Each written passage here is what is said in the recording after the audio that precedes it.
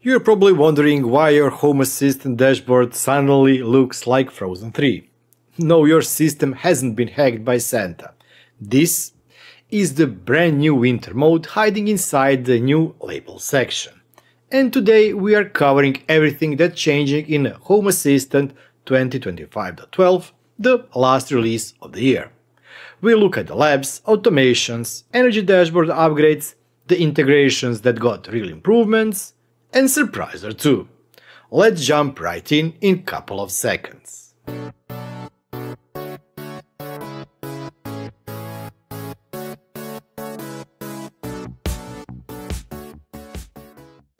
Let's start with something brand new. If you go to Settings, System, there is a new option called Labs. Think of it as a sandbox where developers can give us early access to experimental features before they officially land. It's opt-in, it's safe, it lets you test the future of Home Assistant today. Labs is basically, here is something cool, try it, break it, tell us what exploded and how do you like it. This is great for the community and for everyone who loves new features but doesn't want to run nightly builds or break their automation setup accidentally. But also note, these are not beta features or alpha features. These are fully functional features that may or may not end up in the future versions of Home Assistant. So how do they work? When you go to labs for each of the options that will be introduced to the lab section, you have to opt in for that one. When you press enable, it will ask you if you want to do a backup. For the purpose of this video, I will not be doing backup, hopefully I do have a backup working from couple of hours ago. Then you just enable it, and this new feature is automatically added to Home Assist. As you can see, I've enabled also winter mode, but if I disable it, it will automatically stop the snow falling in my system.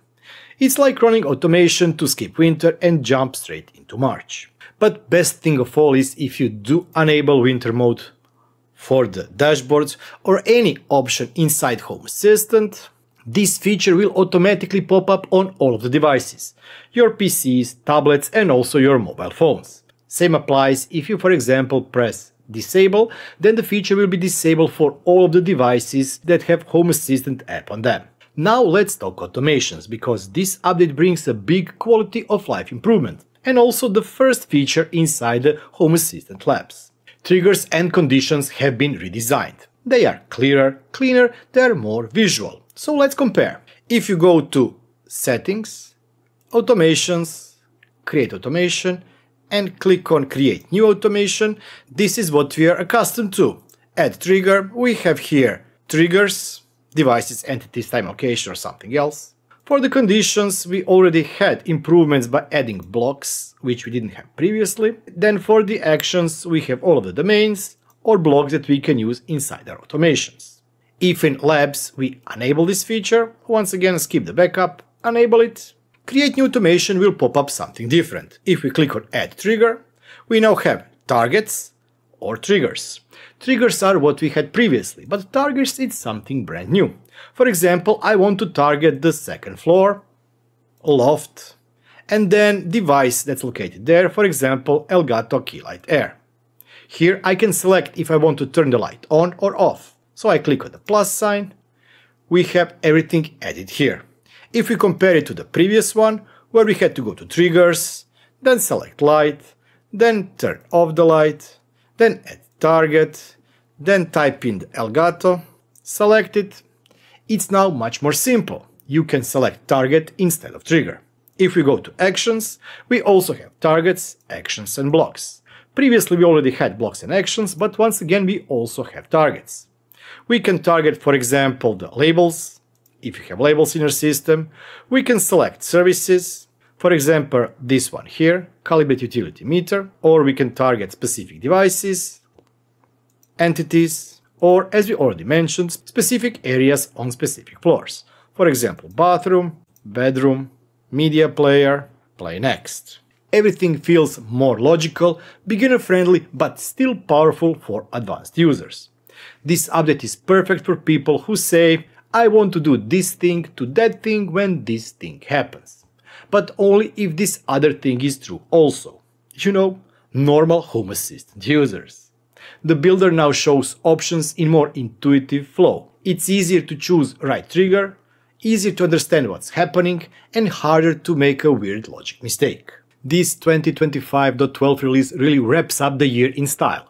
Smoother UI, better device controls, and Home Assistant just keeps getting smarter. But while our homes level up, we also need to level up on our online privacy.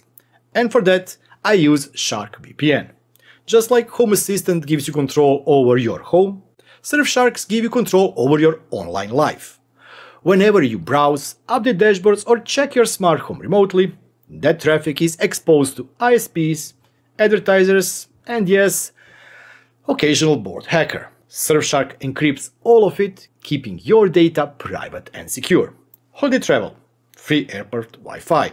Suspicious hotel networks called definitely not a hacker. With Surfshark, your connection stays protected anywhere. Plus, Surfshark lets you connect unlimited devices on a single account. Your phone, your tablet, your laptop, your partner's device. Even the old dashboard tablet you mounted to wall everything stays protected. And one of the best features I love in Surfshark is Alternative ID. It generates a masked name and email for signups, perfect for testing new integrations without giving away personal information. Head to surfshark.com slash tinker, that's my link, and you'll get an exclusive deal. 4 extra months for free, plus a 30-day money-back guarantee. Protect your digital life while you automate your real one. Get Surfshark today. Now let's talk about something a lot of people rely on. That's Energy Dashboard. This release improves power and water section with smoother graphing, more accurate consumption tracking, better units and more consistent history. If you have solar, smart plugs, water meters, heat pumps or anything energy related, this is a nice upgrade. And yes, besides energy tracking, we can now also set up individual power tracking. Just for each individual device, click on pencil sign and select the device power consumption. Save it, wait a couple of hours for statistics to build in the system and you will be presented with the real-time power usage of each device and not just total energy consumption. We have a new dashboard, which is something that was beta dashboard or pre-release dashboard, now it's just a home dashboard. It has new navigation on the right side, but also one thing that can help you fix, for example, where each room is located is if you go to settings, areas, you can now move around areas inside floors or even between floors. And that way you can customize the look and feel of your home. For example, if I move this dining room here as the first room, and then I move bathroom on the second floor, we go back to the home dashboard, dining room and bathroom. The alignment will propagate through all of the Home Assistant. That's the new Home Assistant 2025.12 release. A little bit of fun with winter mode, a big quality jump with the new automations, some great updates to integrations and a stronger energy dashboard. I must say thanks to the wonderful people supporting me and who have become YouTube channel members. Thank you, thank you, thank you. But also, let's not forget each and every one of you who watched, shared, liked or commented on my videos. Thank you. If you want to support the channel, you can become a YouTube channel member for only 2 euros or $2 per month. Or you can visit my merchandise store and pick up something there. And last but not least, you can send me a super thanks and I'll be a super thankful for that. I'll be seeing you next time. Until then, bye bye and have fun.